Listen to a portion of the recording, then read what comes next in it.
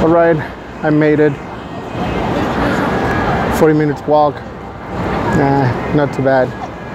It's like 2.5 kilometers, something like that. Um, you had to really fast walk because you have to avoid motorcycles, cars, people in general. So I'm in the main plaza, the main square. Um, there is a mall underground and a subway station.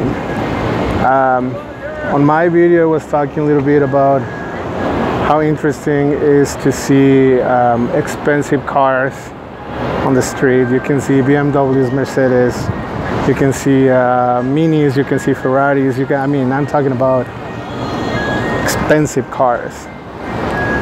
They, they're expensive in America. Now imagine here, right? So um, also all the construction happening. It's also pretty amazing. Um, so you see rich people and you also see a lot of poor people. Okay, um, so it's kind of like interesting in a communist country um, how you actually see um, the difference between um, poor and rich. Um, it's sad, yes, it is. Uh, but at the same time, I, I, see a lot of people happy. Um, and that's also interesting. Um, that's it.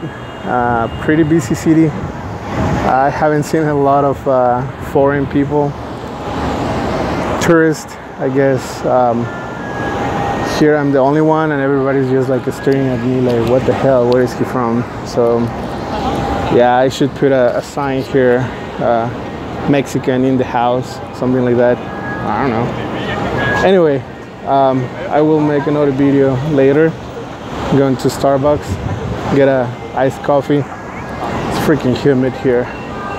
All right, peace.